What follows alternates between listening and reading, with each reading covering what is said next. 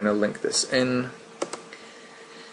And uh, when they hit the ground again remember to set this to object. You don't want them to bounce. Well it's up to you what you want to what you want to happen here. I'm just gonna put in some bounce and surface values see what happens. And as you can see they kind of stick and move a little bit can increase the bounce, kind of make it more splashy, uh, reduce the surface. I think the bounce and the surface are kind of tied. Obviously, if surface is 100%, particles can't really bounce, so you need to find like a kind of halfway uh, uh, compromise between the two values. But um, as you can see, kind of reacting, and that's sufficient for this example. I'm just going to move this up. And now we just want to pass these into the final event. So again we're going to use a pset data standard pset data. Again add the on and the group port.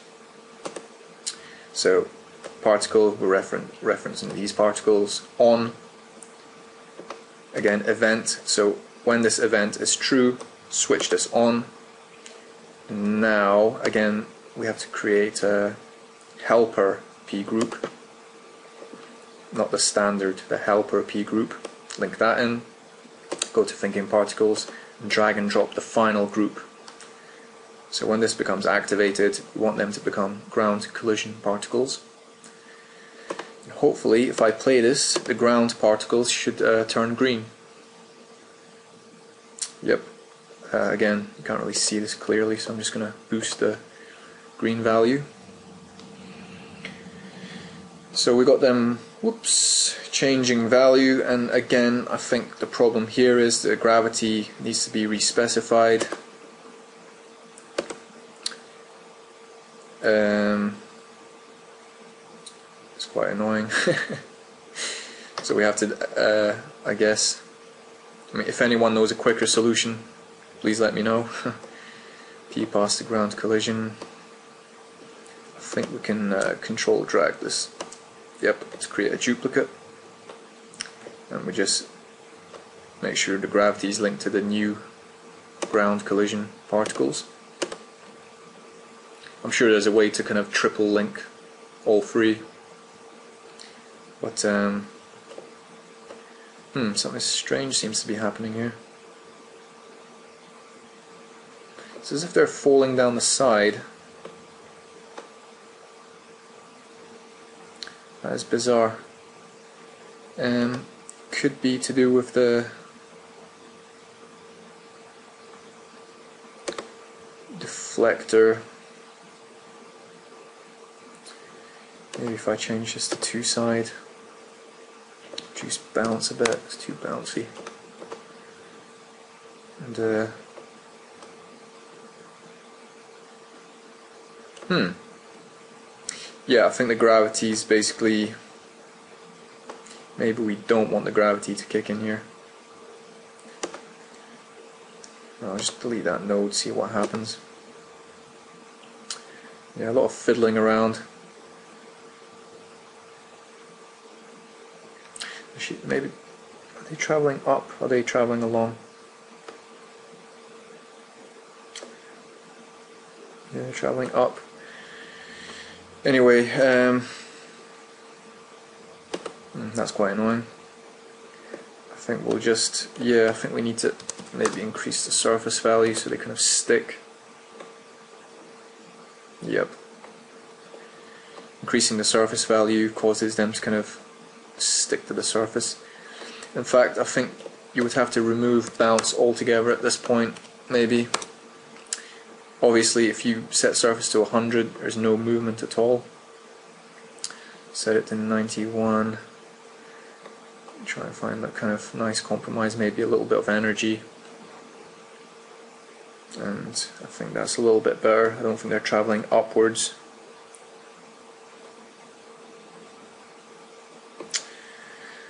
But yeah, anyway, uh, that's the basics of creating a simple little system.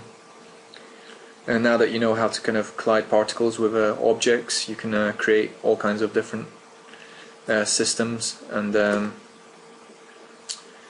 remember to kind of organize your particles into different groups, uh, just makes it a lot more manageable.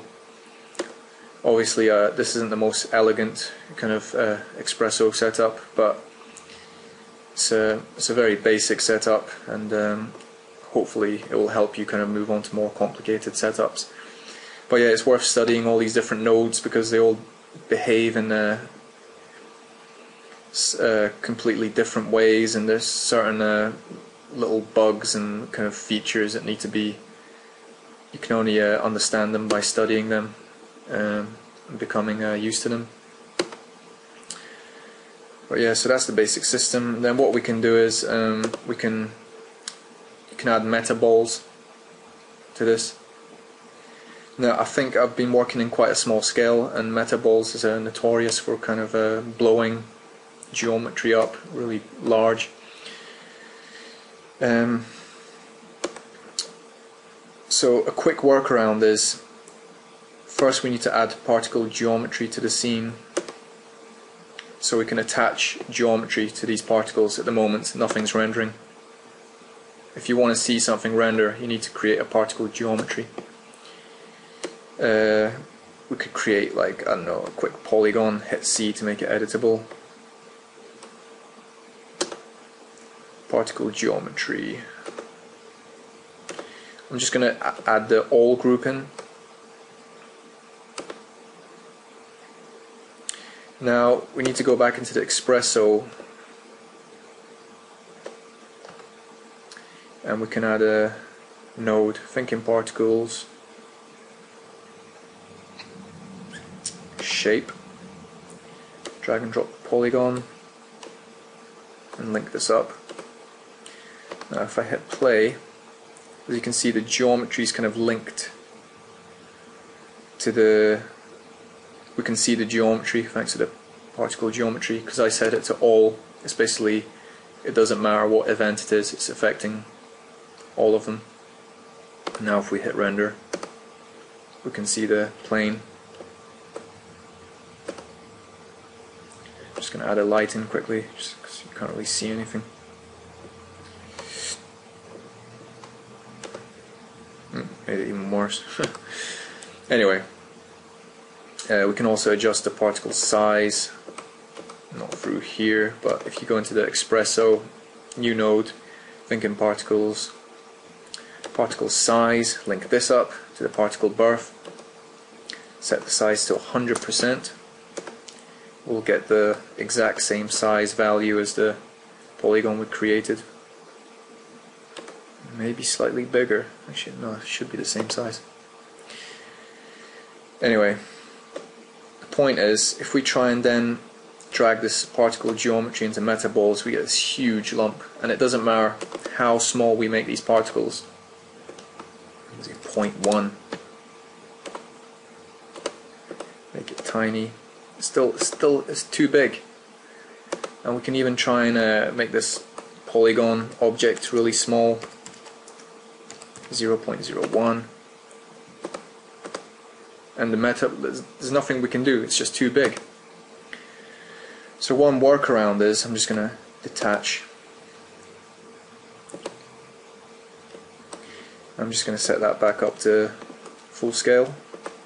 One workaround is to make this obviously editable and then delete three of the vertexes until you're left with ju just one vertex. And uh, I'm just going to center the axis. So now we've got this polygon object which consists of just one vertex. And this is like a quick hack. If you know any uh, different solution, please let me know. Because I don't. I'll put the particle geometry back into Metaball. And it's still massive we can add the hull value. I think the maximum is 1000. That usually helps. And subdivisions are too low. Now we're starting to get somewhere. As you can see, the metaballs are ugly, but uh, reacting a lot better. and uh, obviously this is no match uh, to RealFlow but um, well it's looking a lot better than the massive kind of blob we got a minute ago and exponential fall off helps kind of squeeze it in a little bit more I think um, oops getting a little bit of slowdown. I'm on a laptop so yeah, exponential fall off. I think we then have to reduce hull so we kind of find that the thing is you begin to get a kind of separation. So that's kind of maybe it was better off before. Another thing you can play with is uh, the particle count maybe. Maybe adding more particles will help. Make that to 600 now see what happens. And uh, it's basically just a compromise between all these values and then then if we hit the exponential um, it's very slow and I'm just gonna as you can see the system is crawling at the moment. But yeah um, the best trick I know is the